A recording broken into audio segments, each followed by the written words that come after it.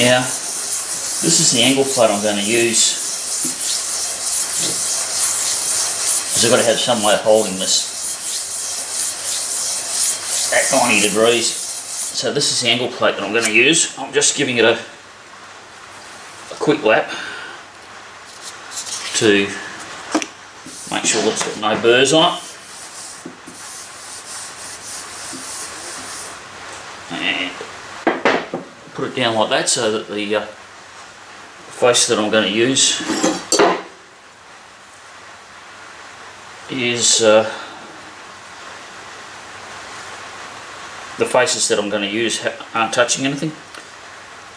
These, this is, this is a Moore and Wright.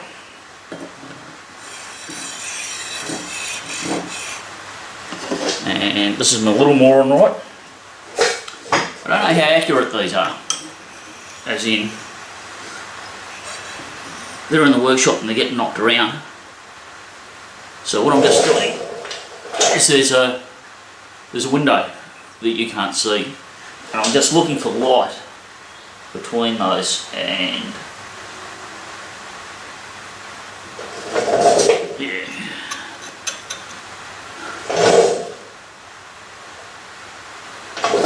sufficiently close for what I want. So now what I'm going to do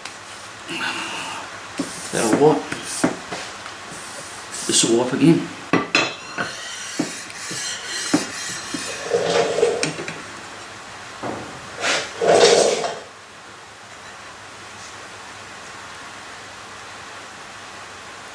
and that looks there's a tiny yeah that looks that looks pretty much the same. Let's get it in the shot. There's a tiny little bit of light came through here which is the same as what I saw when it was up against this one. So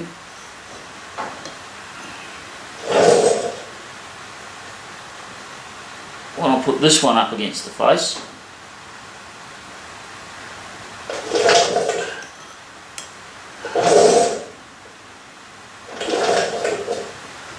can't quite see that because well, I've got the angle wrong for you guys to see it. So what I'm doing is I'm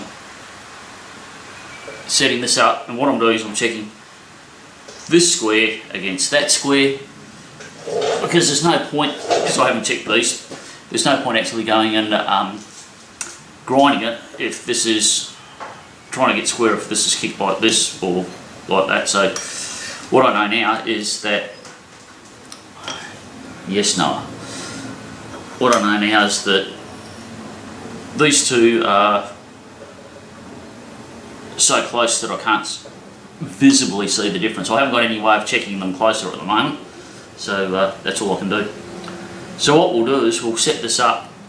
What I'm going to do with these is I'm going to grind them. Um, and once we've ground them, then we'll uh, we'll come back and we'll check them again. Doggy move. I can't get to the camera. now, before I start grinding these, I'm actually curious as to how hard they are. What I could do is I could get out a file and give them a rub with a file. But I thought I'd show you these. These are actually hardness files. And uh, hopefully you can see that. If this files it, it is softer than 65, 65 Rockwell softer. And so what you do is you give it a rub it rubs that, it rubs that, rubs that, it's all it cuts that. And the fact that I'm marking this up doesn't matter.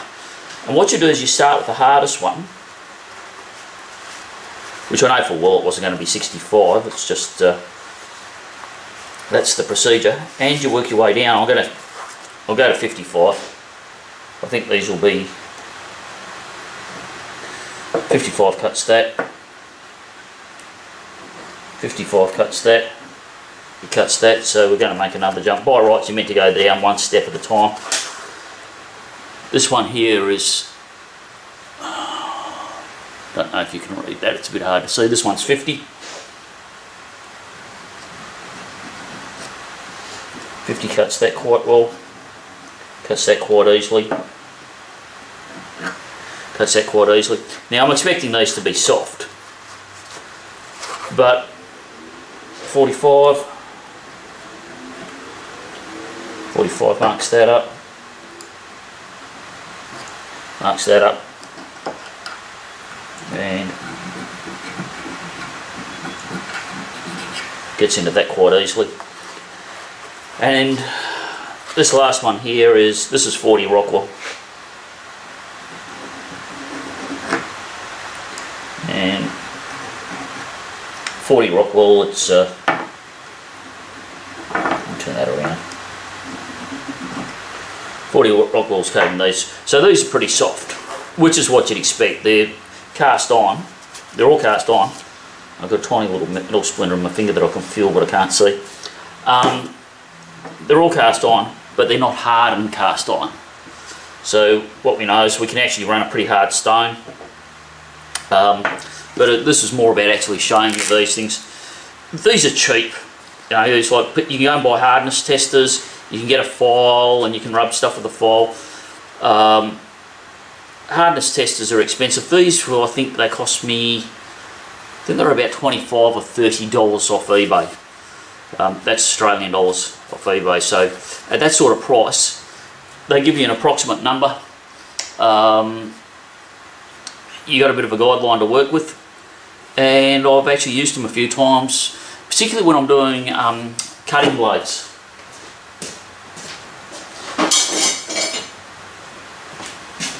You know, when I'm looking at stuff like this, um, this one's actually got a crack in it. It's cracked through here. Uh, so we can't put it back on the machine.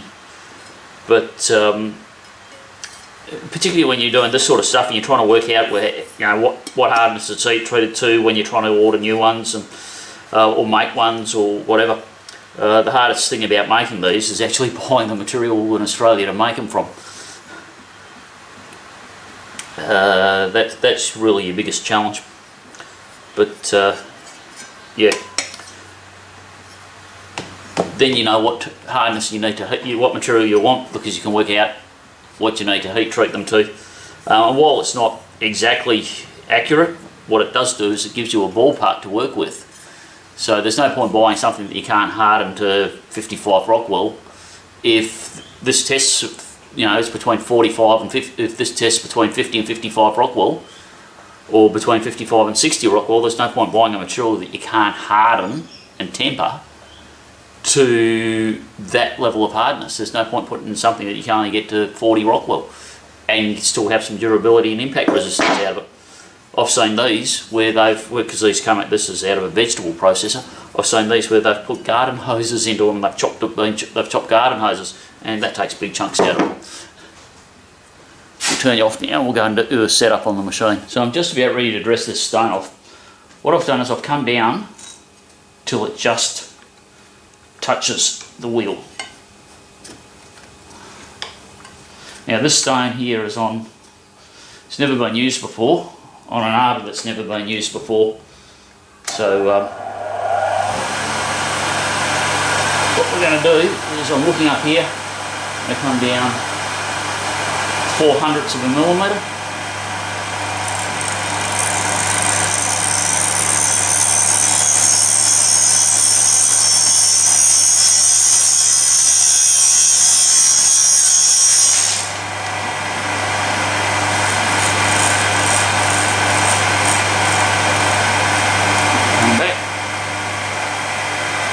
go down another four hundredths.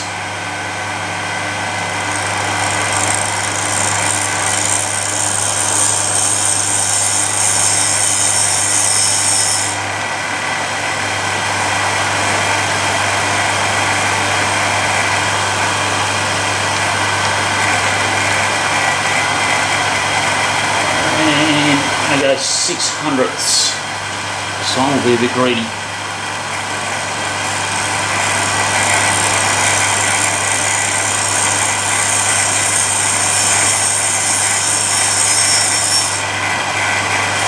Now this stone's pretty hard.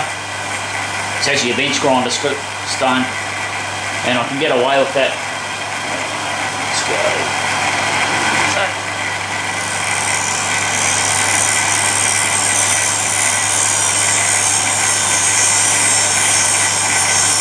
I can see it tracking across the wheel. So it's actually sounding not too bad. Have Norton Stone made in China. Uh, this one's 46 grit, so that'll be good enough for what we want. Okay, we'll turn you off and we'll be back.